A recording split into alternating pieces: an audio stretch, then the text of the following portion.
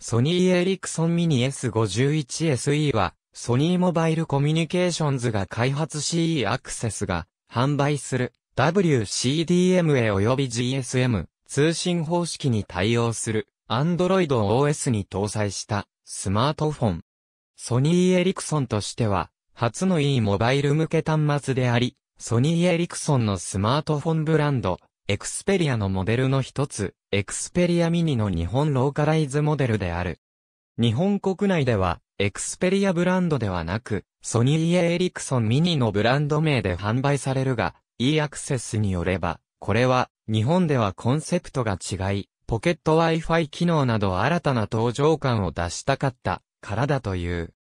国内で販売されるスマートフォンでは最小、最軽量を歌い文句にしており、高さ約 88mm 幅約 52mm、重さ約 99g のコンパクトボディに、約3インチ、480-320ドット、1677万色表示の TFT 液晶を搭載している。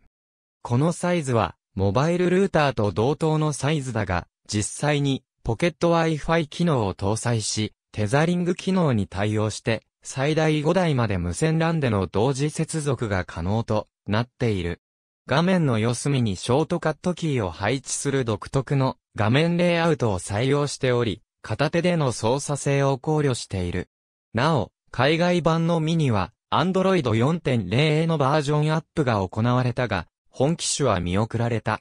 AC アダプタは SO-02C 等と同じものを採用しており、電池パックは海外で EP500 となっているものを採用している。